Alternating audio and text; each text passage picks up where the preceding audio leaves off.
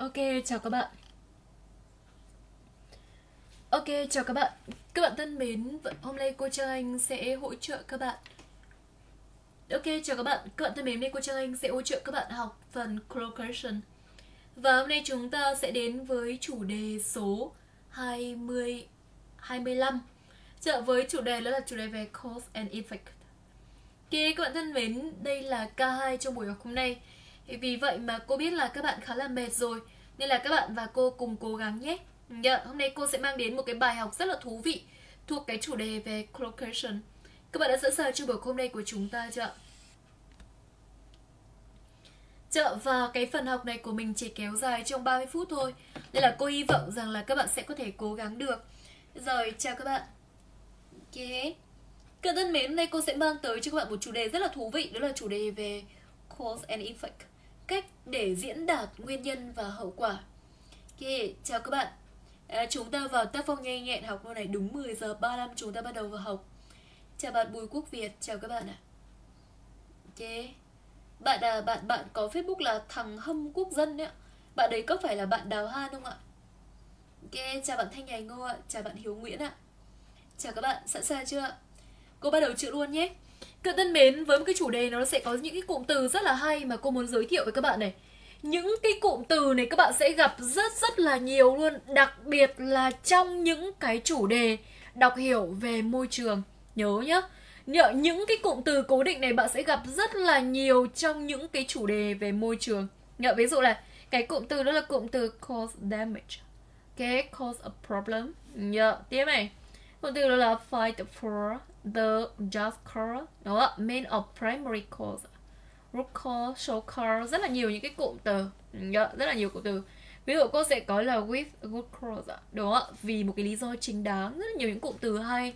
Ở ví dụ những cái cụm từ mà bạn gặp rất là nhiều này đúng không đó là cái cụm từ mà have a strong or great or uh, sorry have a strong or great effect or influence on có ảnh hưởng có tác động đến hoặc là under the influence. Rất là nhiều những cụm từ hay thì bạn nhớ cho cô như sau là cô nghĩ là các bạn sẽ phải cố gắng học hết những cái cụm từ này.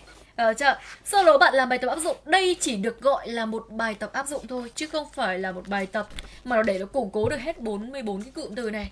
Nếu như các bạn muốn Nhờ vì thực ra cô cho Anh chữa hết cuốn sách này rồi Nếu các bạn muốn thì cô cho Anh sẽ tặng các bạn những cái bài tập. Ví dụ như cô sẽ thiết kế cho bạn hẳn một bài tập 50 câu về cái chủ đề này, đúng không ạ? Vì thực ra bài tập trong sách này có 20 câu thôi. Nên cô sẽ có thể thiết kế cho bạn bài tập mà 50 câu về chủ đề này cho các bạn làm đi làm lại nhiều bài tập để các bạn nhớ. Nếu các bạn cần thì cô Trang Anh sẽ đăng cho các bạn theo kiểu hàng ngày, mỗi ngày một chủ đề nhé. Sẵn sàng chưa ạ? Dạ, ok. Sẵn sàng chưa ạ?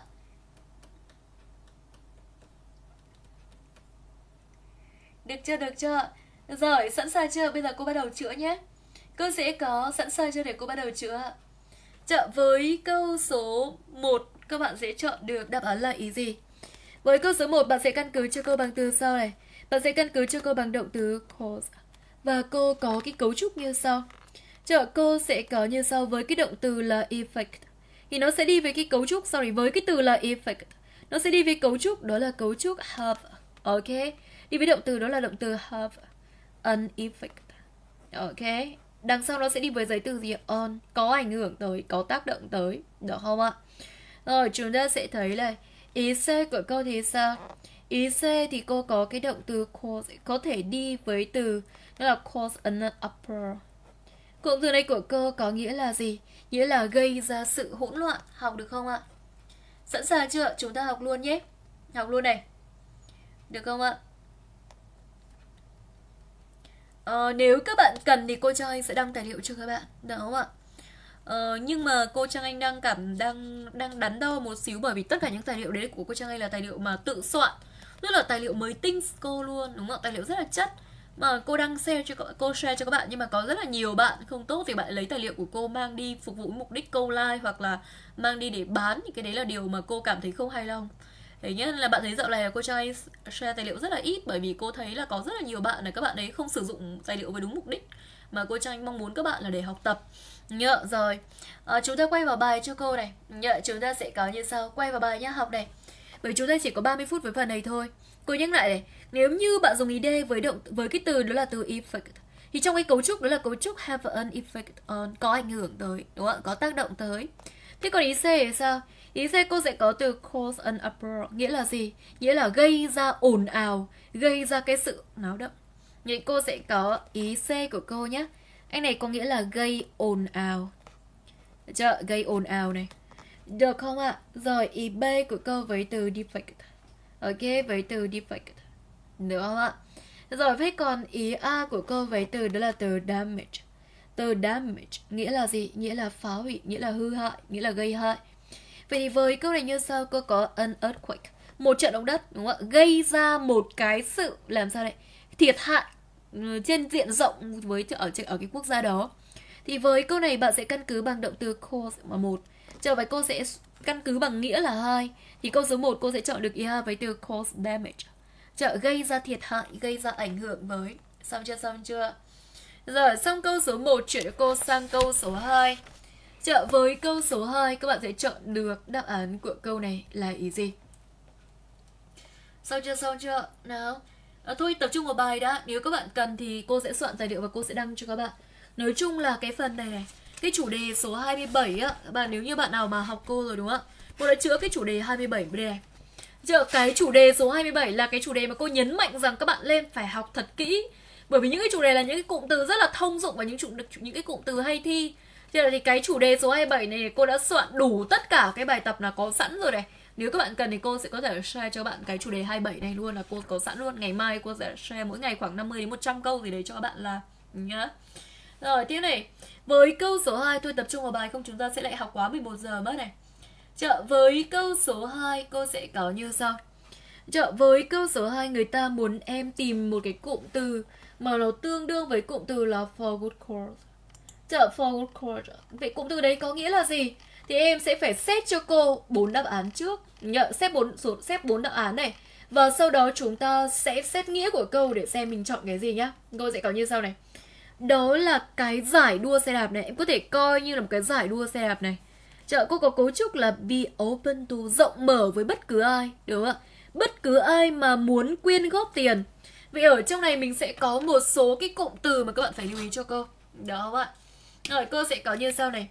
Cô có cái cụm từ thứ nhất đó là cụm từ be open to, rộng mở đối với ai này. Cấu trúc want to do something muốn làm gì này. Raise money gây quỹ này, đúng không ạ? Và cụm từ tiếp theo là cụm từ for good cause, vì một cái mục đích cao cả. Vậy thì cô sẽ dịch hoàn chỉnh câu này như sau Đó là cái giải đua xe đạp trên diện rộng này Đúng không ạ? Là rộng mở đối với bất cứ ai mà muốn đúng không ạ? Quyên góp tiền cho cái mục đích cao cả Vậy thì cô sẽ đoán cái cụm từ đó là cụm từ For a good cause Nghĩa là vì mục đích cao cả. Vậy thì bây giờ mình sẽ xét cho cô bốn nghĩa của anh này. Giờ chúng ta sẽ cùng xét nhé Đầu tiên mình có thể dùng cái bảng này, Xem cho cô cái cụm từ là inconsequence. Nghĩa là gì? Nhờ thì cô có thể túm thấy cái cụm từ đó ở đây. Với cụm từ đó là inconsequence, nghĩa là gì? Hậu quả của cái gì? Đúng không ạ. Vậy thì ý a của câu từ làm từ thiện. Nhờ không vì lợi ích lợi nhuận, không vì lợi ích lợi nhuận vì lý do chính đáng vậy thì cô sẽ thấy được ý b của cô nghĩa là không vì lợi nhuận đúng không? vì lý do chính đáng. Vậy là cô sẽ thấy được là ý b của cô rất là ok rồi, đúng không ạ? Thế còn ý c của cô thì sao? Ý c thì cô sẽ có cái anh as a result ở cái bảng đằng trước của mình cũng có. Bạn có thể xem cho cô như sau này. Đỡ phải viết Nhớ. Cô có cụm từ, đó là cụm từ as a result Chờ, anh này cô sẽ bằng với because Chờ, bằng because Bởi vì, đúng không ạ? Thế còn cô sẽ có anh as a result Bằng therefore Do đó, do vậy. Vậy thì chúng ta sẽ lại giống được một anh nữa, Và anh này có nghĩa là do đó, do vậy. Nên là cô sẽ cũng không chọn ý A, không chọn ý C rồi. Thế còn ý D với cụm từ under the influence. Thì cô sẽ thấy ở trong này cô cũng sẽ giống được cái cụm từ đó, đúng không ạ? Cái cụm từ đây rồi. Cô sẽ giống nó ở trong cụm từ sau là cụm từ under the Chờ cô sẽ cụ từ là under the influence. Nghĩa là chịu ảnh hưởng của, do ảnh hưởng của. Vậy thì cũng không được Do đó câu số 2 Cô sẽ chọn được đáp án của câu này là ý B. Ok chưa? Xong câu số 2 chuyển cho cô sang câu số 3 đi ạ. Với câu số 3 các bạn sẽ chọn được đáp án của câu này là ý gì? Thì cô sẽ có như sau. Với câu số 3 cô có từ protest, những người phản đối, đúng không ạ? Thì câu số 3 cô dịch như sau. Cô dịch là những cái người biểu tình, đúng không ạ? Vì môi trường, Gốc từ là environment. Bây giờ thêm đuôi ồ vào thành tính từ. Những người biểu tình vì môi trường đã đã làm sao với người dân địa với người dân địa phương để ngăn chặn cái việc con đường cao tốc đấy được xây dựng. Vậy thì với câu này chúng ta sẽ căn cứ bằng từ common và căn cứ bằng từ cause. Vậy thì bạn sẽ xem cho cô, cô có một cái cụm từ như sau. Với câu số 3, bạn sẽ căn cứ cho cô bằng một cái cụm từ như sau này. Ở trong này mình có một cái cụm từ như vậy. Đó là cái cụm từ số 14. Vậy cô khuyến khích các bạn là các bạn phải học cái số bảng từ này trước, đúng không ạ? Thì cô có một cụm từ là cụm từ make common cause with. Về phe với ai, về bè với ai, về phe cánh với ai. Vậy thì với câu số 3 này, cô sẽ dịch là những người biểu tình vì môi trường này đã về phe với người dân địa phương để ngăn chặn cái con đường cao tốc này được xây dựng. Vậy thì với câu số 3 theo cái cụm từ như vậy, nhớ, cô viết lại cụm từ ra đây này. Đó là cụm từ make ghép với từ đó là từ commons và ghép với từ cause Nhờ Nhớ về phe với ai thì cô sẽ chọn được câu số 3. Đáp án của câu này là ý D. Xong chưa xong chưa? Xong câu số 3, chuyển cho cô sang câu số 4. Với câu số 4, bạn chú ý cho cô đến cấu trúc sau. Đó là cấu trúc be concerned about. Nhớ, cô có cấu trúc đó là cấu trúc be concerned about, nghĩa là quan tâm về cái gì. Ngoài ra thì cái cấu trúc là be concerned có thể đi với giới từ with, có liên quan tới. Hai cấu trúc này khác nhau nhá, cẩn thận này. Nhớ chúng ta sẽ có như sau. Nó dịch là bố mẹ rất là quan tâm đến cái effect cái tác động làm sao đến cái việc của trẻ chơi những cái trò chơi game bạo lực. Vậy với câu số 4 này căn cứ bằng từ effect thì cô sẽ có một cái cụm từ như sau. Đó là cụm từ ngon ghép với từ term, ghép với từ effect. Trợ tác động lâu dài, ảnh hưởng lâu dài. Vậy từ đó cô chọn được câu 4 là ý B. Câu này mình chỉ thừa nhận thôi, không có cách gì khác cả, đúng không ạ? Xong câu số 4 chuyển cô sang câu số 5. Chợ với câu số 5 các bạn sẽ chọn được đáp án của câu này là ý gì? Với câu số 5 cô có như sau. Chợ với câu số 5 thì thực ra cái cái cái phần này của mình nó liên quan đến cụm từ nhiều hơn. Như là cái phần về nghĩa thì nó cũng không không không phải là nghĩa nhiều lắm mà bạn chủ yếu cho cô là về cụm từ. Chợ với câu số 5 này các bạn sẽ chọn được đáp án là ý gì? Nào, bạn nào có thể xử lý cho cô được với câu số 5 này? Các bạn sẽ chọn được đáp án của câu đấy là ý gì. cứ có ý A với từ, với tính từ đó là tính từ profound. Chợ với từ profound nghĩa là gì? Chợ chúng ta sẽ có từ profound nghĩa là có gọi là sâu sắc đúng không? Anh này nghĩa là sâu sắc này. Ý B với từ reflect là tính từ của từ reflect, phản ánh, phản chiếu. Thorough là tỉ mỉ và great là tuyệt vời. Vậy thì với câu số 5 này, mình sẽ dịch câu này như sau. Câu dịch là những cái cuốn sách của nhà văn này Đúng không ạ? Những cái cuốn sách của nhà văn này đã có ảnh hưởng sâu sắc đến cuộc đời tôi. Vậy thì cô sẽ có cả một cái cụm từ này. Đó là cụm từ have a have a profound hoặc là significant. Chợ chúng ta sẽ có là have a profound. Chợ hoặc là significant hoặc là significant impact on có ảnh hưởng sâu sắc, có tác động sâu sắc tới. Vậy thì với câu số 5 này, cô sẽ chọn được đáp án của câu số 5 là IA. Đúng không ạ? Sau câu số 5 chuyển cô sang câu số 6. Với câu số 6 cô sẽ có như sau. Trở với câu số 6 bạn sẽ xem cho cô này. Em thử giống cho cô trong bảng xem cái cụm từ đó là cụm từ cause for alarm nghĩa là gì. Thì cô sẽ thấy như sau. Ở trong cái cụm số 6 này. Ở trong cái cụm số 6 này cô sẽ có cụm như sau là cụm từ cause for concern or alarm nghĩa là gây, gây lo ngại nhớ. Vậy nhớ cho cô là uh, chúng ta sẽ có cụm là cause for concern hoặc là đều bằng nhau và nghĩa là gây lo ngại. Vậy thì ở đây người ta gạch chân cái từ alarm thì em sẽ chọn bằng với từ concern nhớ. Và cô sẽ dịch như sau đó là the increase. Nhớ là increase đi với giới từ in nó là một cụm nhá, đúng không ạ? Cái việc gia tăng cái những cái băng đảng bạo lực ở trong cái vùng này đúng không ạ? Là làm sao? Là à cụm từ đây rồi. Nhớ là làm sao đây ạ? Là gây quan ngại Vậy thì cô sẽ chọn được câu số 6 là ý C. Xong chưa? Xong chưa? Sau câu số 6 chuyển cô sang câu số 7. Với câu số 7, các bạn sẽ chọn được đáp án của câu này là ý gì ạ? Nếu câu xong câu số 6 chuyển cô sang câu số 7 đi ạ. Thì với câu số 7 các bạn sẽ chọn được đáp án của câu này là ý gì ạ? Ok. À, bạn Nhi thân mến, cụm từ là have a profound impact on nghĩa là có ảnh hưởng sâu sắc, có tác động sâu sắc tới cái gì em nhé. Được không ạ? Nào xong câu số 6 chuyển cô sang câu số 7 đi ạ. Với câu số 7, các bạn thấy cô giảng như vậy có nhanh quá không ạ? Cậu thân mến, các bạn thấy cô cho anh giảng như vậy có nhanh quá không ạ? Các bạn thấy cô Trang Anh giảng như vậy có nhanh quá không ạ? Nếu mà nhanh quá thì cô sẽ tua chậm lại ạ. Với câu số 7, câu này rất là quen luôn và cô nghĩ rằng các bạn rất là gặp rất là nhiều rồi.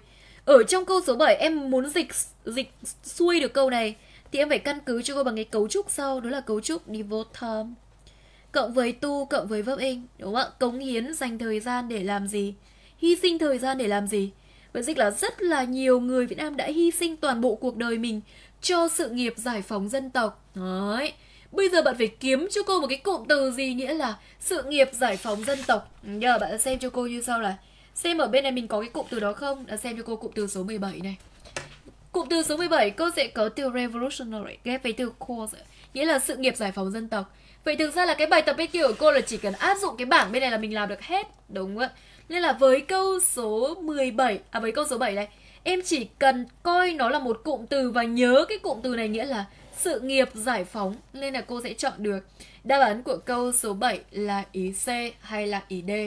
Chỉ có hai đáp án thôi thôi ạ, là C hay là D. Đó ạ. Thì cô sẽ có từ revolution cause chứ không phải cause. Nên là ý D của cô mới là đáp án đúng. Đó không ạ?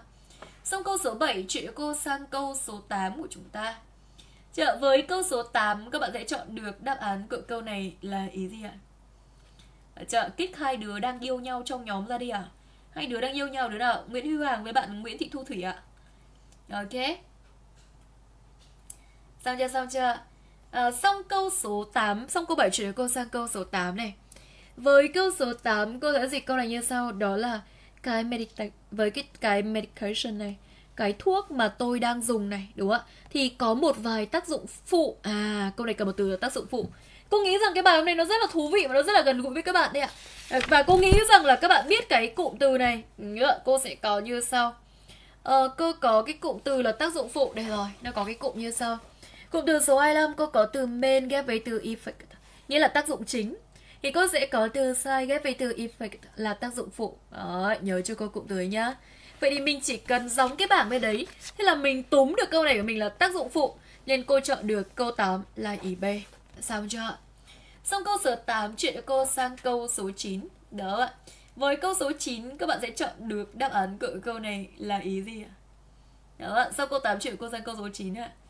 Ờ, cô chỉ biết có mỗi một cái cặp ở trong nhóm của cô là có bạn là Nguyễn Thị Thu Thủy với bạn là Nguyễn Huy Hoàng thôi. Dạ còn không cô không biết có cặp nào cả. Đúng không ạ? Hai đứa tên là Hiếu Vũ và Xanh Xanh gì đó à? Rồi ok tiếp này. Xong câu số 8 chuyển câu sang câu số 9 của chúng ta. À, với câu số 9 dịch cho câu câu này như sau xem là xem có dịch được không nào. Câu số 9 dịch là à, cái chàng ca sĩ đó đúng không ạ? Đã gây ra cái gì đó khi mà anh ta tuyên bố rằng, đúng không anh ta sẽ rời khỏi ban nhạc. Thì vừa lấy như có mình có một cái cụm từ đó rồi. Chợ ở trong cái câu 1 cô có chép cho em rồi, đó là cụm từ cause ấn uproar. Cụm từ đấy của cô nghĩa là gây ra ồn ào, đúng không? vậy thì với câu số 9 cơ chọn được. Đáp án của câu đấy là ý A. Ý B ở câu với từ cause, ghép với từ damage, gây ra thiệt hại, gây ra sự phá hủy thì cô sẽ có là từ cause của chúng ta có thể ghép với từ confusion. Chợ cause mà ghép với từ confusion nghĩa là gì đấy? Gây ra nhầm lẫn. Nhớ rất là nhiều cụm luôn. Chợ từ cause có thể ghép với từ death nghĩa là gây ra chết người. Vậy thì với câu này cô nhắc lại nghĩa nó như sau này. Cơ có ý B với cụm từ là cause damage, gây ra sự thiệt hại. Cause ghép với từ death nghĩa là gây ra chết người. Cause ghép với từ confusion nghĩa là gây ra sự nhầm lẫn. Và đây cô sẽ có từ cause ghép với từ an uproar, nghĩa là gây ra cái sự ồn ào. Vậy thì với câu số 9 cô sẽ chọn được đáp án của câu này là ý A. Xong chưa xong chưa? Xong câu số 9 chuyện cô sang câu số 10. Với câu số 10 dịch là chúng ta cần phải tìm ra. Ở trong này người ta đang dùng cấu trúc, đó là cấu trúc to do something, cần phải làm gì. Thì ở đây chúng ta phải dùng chủ ngữ là somebody, đúng không ạ? Somebody thì nick cộng với to do something. Thế còn cô có cấu trúc tức là cấu trúc something tức là chủ ngữ là vật. Thì đằng sau nó sẽ phải là doing something. Trợ hoặc là to be done cần thiết được làm gì?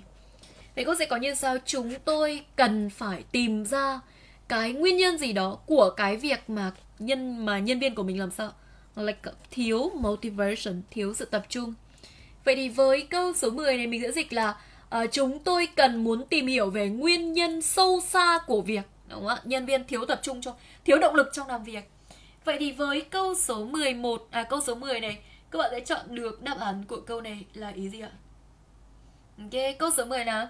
Bạn nhớ chưa cô là trước các buổi học về collocation ấy chịu khó học thuộc cho cô cái bảng ấy trước đi nhá. Nếu bạn học bạn nhớ cho cô là học cho cô cái bảng đó nhưng mà không làm bài tập thì khi các bạn mà làm bài tập với cô thì coi như là mình sẽ thuộc được đúng không ạ? Mình sẽ được nhắc lại những kiến thức đó. Cô sẽ có từ root ghép với từ cause nghĩa là nguyên nhân sâu xa. Đó, nguyên nhân sâu xa này. Vậy thì dịch là uh, câu này dịch là chúng tôi cần tìm hiểu về nguyên nhân sâu xa tại sao nhân viên của chúng tôi lại thiếu đúng không ạ? Thiếu cái cái hứng thú trong làm việc. Vậy thì với câu số 10 cô sẽ chọn được đáp án của câu này là ý C. Ý C mới là gốc rễ còn ý D là mái nhà. Sau câu 10 chuyển cho cô sang câu số 11 đi ạ. Câu một dịch là đó không phải là lỗi của tôi. Chờ anh ta tức giận với tôi, chúng ta có một cụm từ như sau. Đó là cụm từ get angry with. Nhớ. Cô có cụm từ đó là cụm từ get angry with. Tức giận với, angry with. Nhớ. Ở dịch là anh ta tức giận với tôi without. Chợ mà không có sau without có thể cộng với một danh từ. Sau without có thể cộng với một verb in. nhớ chúng ta sẽ có như sau. Với câu số 11 các bạn sẽ chọn được đáp án của câu lấy gì chứng tỏ là các bạn vẫn còn rất là khỏe, đúng không ạ? Gần 11 giờ rồi mà vẫn còn đang tán chuyện là cho mượn Tuesday. Ok. Rồi chúng ta sẽ có với câu số 11 các bạn sẽ chọn được đáp án câu này là ý gì? Buổi sau cô sẽ nhắc cho các bạn trước nội dung bài học nhá. Thì sau đó các bạn sẽ học trước cho cô cái bảng từ đi thì nó sẽ hiệu quả hơn. Đó ạ. Rồi chúng ta sẽ có với câu số 11 dịch là đó không phải lỗi của tôi, anh ta tức giận với tôi mà không có lý do chính đáng. Nhờ vì vậy mà chẳng cần thiết cho tôi phải say apology. Nó sẽ có là say này ghép với từ apology, xin lỗi, đúng không ạ? Thì cô sẽ có say có thể đi với từ say hello, chào đúng không ạ? Say có thể ghép với từ say goodbye, tạm biệt. Đấy, rất là nhiều cụm. Chợ vậy thì với câu số 11 này các bạn sẽ chọn được đáp án của câu đấy là ý gì? Chợ với câu 11 này, đó không phải lỗi của tôi, anh ta tức giận đối tôi mà không có lý do chính đáng gì cả. Bây giờ vấn đề là bạn sẽ kiếm cho cô một từ gì nghĩa là lý do chính đáng. Thì câu số 11 bạn lại giống cho cô trong bảng này. Chợ thì bạn sẽ thấy cái cụm từ này nó có mặt ở phần sau. Chợ cô sẽ có nó ở cái cụm từ số 15 này của cô này. Đó là cái cụm từ nhờ bạn nhìn được không ạ? Chúng ta sẽ có đó là cái cụm từ sau. Uh, cái cụm từ đó là with or without good cause có hay không có lý do chính đáng. Vì ở đây cô dịch là anh ta đã có sẵn từ without rồi, đằng sau cô sẽ ghép với từ good và từ cause lý do chính đáng. Vậy thì với câu này cô sẽ chọn được đáp án của câu 11 là ý D. Ok chưa? Xong câu số 11 chuyển cho cô sang câu số 12. Xong chưa, xong chưa? Với câu số 12 các bạn sẽ chọn được đáp án của câu đấy là ý gì? Chợ với câu số 12 bạn nhớ cho cô là cái từ very này có thể được dùng như một tính từ. Nó dùng như một tính từ thì nó sẽ mang chất nhấn mạnh dịch là chính. nhận dịch là chính. Nhớ cái cách người ta dùng dùng đó là từ the ghép với từ very nhá. Nhớ ạ, lúc ấy very đóng vai trò là tính từ. Vậy câu dịch là câu 11 à, câu số 12 của cô dịch là gì? Chính những cái tác phẩm điêu khắc đầu tiên đấy, đúng ạ? Đã làm sao đây ạ? đã thực được thực hiện dưới ảnh hưởng của nghệ thuật Hy Lạp Greek ghép với từ art nghệ thuật Hy Lạp vậy cô sẽ có từ under ghép với từ the gì như lúc trước cô có chiếu cho bạn cái cụm từ under gì không biết là các bạn có nhớ cái cụm từ đó không? Là lúc trước cô chiếu qua cái cụm từ đó rồi. Đúng không thì cô sẽ có một cái cụm từ như sau để xem cô túm lên nó ở chỗ đoạn nào này lúc trước là cô nhớ ở à đây rồi, cụm từ số 20 này. Cụm từ số 20 cô có cụm từ là cụm từ under the influence. Chợ under the influence nghĩa là chịu ảnh hưởng, do ảnh hưởng của cái gì. Vậy thì với câu 12 dịch là chính những cái bước điêu khắc đầu tiên đấy đúng không ạ được thực hiện dưới ảnh hưởng của nghệ thuật Hy Lạp. Vậy thì cô sẽ chọn được đáp án của câu 12 là ý B. Ok chưa? Xong câu số 12 chuyển đến cô sang câu số 13. Câu 13 cô có từ finance nghĩa là tài chính problem là vấn đề. Cái vấn đề tài chính của công ty đó là cái kết quả của cái gì đấy ạ? Cô có từ poor ghép với từ management, quản lý kém. Thì với câu số 13, cô sẽ có câu này như sau các vấn đề về tài chính của công ty này là cất là cái kết quả tất yếu của nhiều năm quản lý kém. Vậy thì cô có ý A với từ inevitable. Trợ ghép như sau này cô sẽ có từ inevitable. Trợ ghép với từ result, kết quả kết quả tất yếu, đúng không ạ? Kết quả không thể tránh khỏi được. Nên câu số 13, cô sẽ chọn được đáp án của câu này là ý A. Xong chưa xong chưa? Xong chưa xong chưa? Câu số 13 của chúng ta là ý A, ok chưa? Rồi, xong câu số 13 chuyển cô sang câu số 14. Chọn tập trung vào bài cho cô đi ạ. Với câu số 14, các bạn sẽ chọn được đáp án của câu này là ý gì ạ? Nào xong câu số 13 chuyển cô sang câu 14 ạ. Với câu số 14, các bạn của cô sẽ chọn được đáp án của câu này là ý gì ạ? Nào, các bạn mà nói chuyện riêng là cô chữa nhanh nhá. Đó. Với câu số 14, cô có cụm từ như sau. Cô có cụm từ là get, ghép với từ married, nghĩa là kết hôn. Chúng ta có cấu trúc, đó là cấu trúc married to somebody, lấy ai. Cô có cụm từ là married with somebody, có con với ai, hai cụm từ khác nhau. Hai cụm từ này trong sách giáo khoa của em học rồi này. Yeah. Hướng dịch như sau đó là cô ấy sắp kết hôn với một anh chàng mà bố anh ấy là người có quyền lực. Nhờ bây giờ cô sẽ không chiếu cái bảng bên nữa bên kia đây cho đỡ mất thời gian, cô cho bạn thừa nhận luôn nhé. Với câu số 14 cô có một cái cụm từ như sau. Đó là cụm từ a person. Giờ cô sẽ cụm từ là a person of influence. Chợ nghĩa là gì đấy? Người có tầm ảnh hưởng, người có quyền thế. Vậy thì với câu số 14 cô chọn được đáp án câu này là ý C.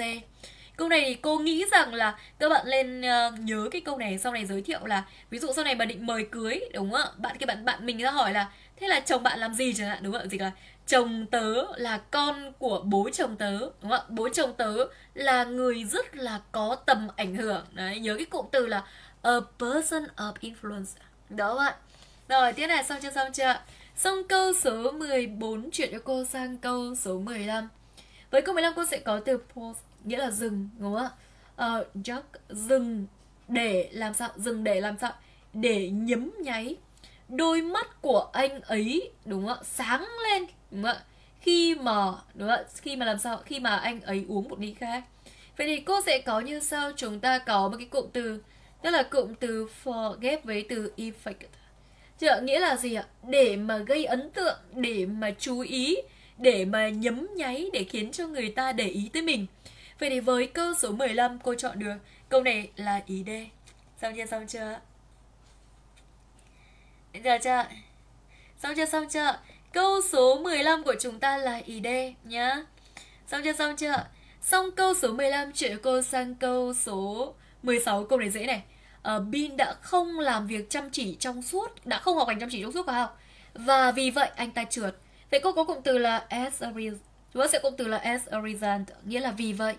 Ý a từ này cô sẽ có từ nevertheless bằng từ however là tuy nhiên cô sẽ không chọn ý a.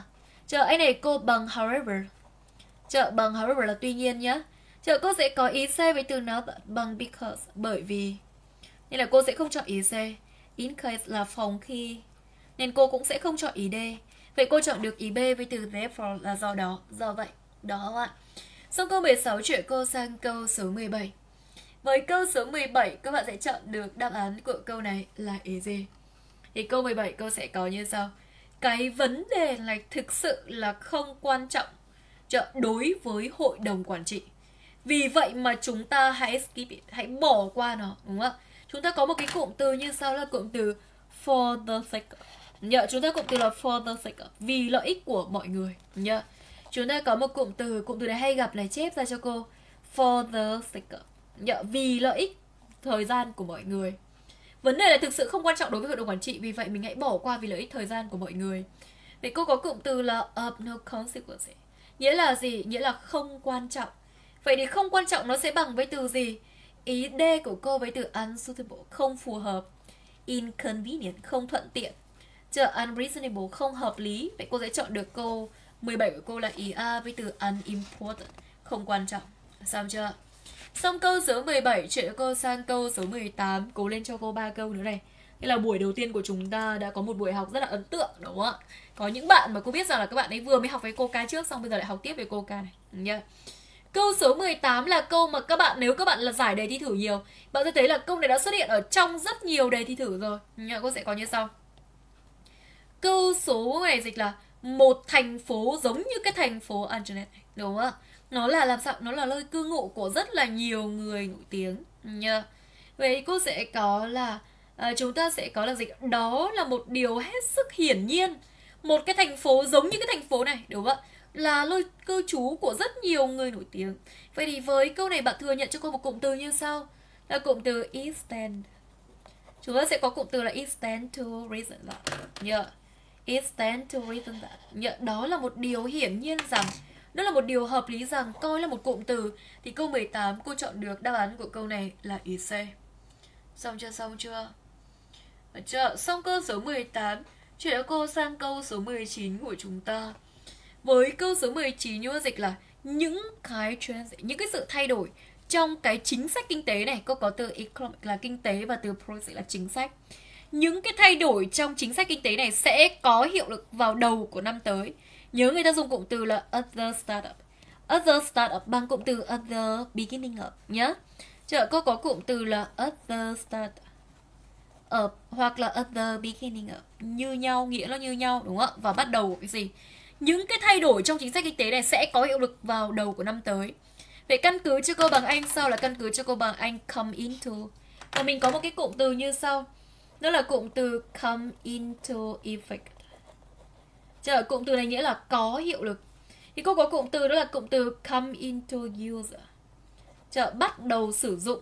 Vậy thì với câu số 19 này, cô sẽ chọn được đáp án là ý A. Đúng không ạ? 19 A với cụm từ là come into effect. Yeah, có hiệu lực. Được không ạ? Sau 19 chuyện cô sang câu số 20 Câu số 20 dịch là à, Ông ấy đã trích dẫn một câu tục ngữ của Trung Hoa. Chợ để mà ngụ ý rằng Bạn không bao giờ lên cãi nhau với hàng xóm. Cô có từ have a Chúng ta có một cái cụm từ như sau Đó là cụm từ have a quarrel with somebody. Cãi nhau với ai? Nhớ. Cái này của cô nghĩa là cãi cọ xô sát với ai? Cãi cọ với ai? Bây giờ là anh ta đã trích dẫn một câu tục ngữ của Trung Quốc để nhấn mạnh rằng, đúng không ạ? Để ngụ ý rằng, đừng dại gì mà đi cãi nhau với hàng xóm, đúng không ạ? Có hai người mà đừng dại gì đi cãi nhau, đó là đừng cãi nhau với vợ, đúng không ạ? Và đừng cãi nhau với hàng xóm. Nhé có hai cái đấy, đúng không ạ? Cãi nhau với vợ là sẽ là thứ nhất là phải ăn cơm bụi này, đúng không ạ? Phải ngủ ngoài đường này, đúng không ạ? Và cãi nhau với hàng xóm thì mất vui, đúng không ạ? Vậy là bán anh em xa mà mua láng giềng gần mà. Nhá nên là chúng ta sẽ có với cái câu số 20 để chúng ta với cụm từ là to chúng ta sẽ có cụm từ là to the effect, nghĩa là để nhấn mạnh rằng, để ám chỉ rằng, để ngụ ý rằng. Vậy thì mình sẽ bằng với anh gì bây giờ? Chờ cô sẽ có ý với từ explain là giải thích mention là đề cập tới refer là refer thì phải đi với to đúng không? Ám chỉ. Và im, à, từ refer to có nghĩa là à, đúng rồi ám chỉ tới. Thế còn từ imply nghĩa là ngụ ý rằng. Vậy thì với câu số 20 này cô sẽ chọn được đáp án của câu đấy là ý D. Xong chưa xong chưa? Ok các bạn thân mến vậy là cô Trang Anh đã hỗ trợ các bạn chữa xong bài hôm nay của chúng ta. À, và chúng ta sẽ duy trì lịch này đến khi nào mà các bạn cảm thấy đuối thì thôi còn nếu mà các bạn vẫn cảm giác rằng là uh, những cái chương trình mà cô Trang Anh hỗ trợ các bạn là là phù à, là phù hợp và là giúp ích được cho các bạn thì cô Trang Anh cũng sẽ vẫn cố gắng đồng hành cùng với các bạn với 2K một ngày nhé. Tạm biệt các bạn và hẹn gặp lại và các bạn vào chương trình ngày mai.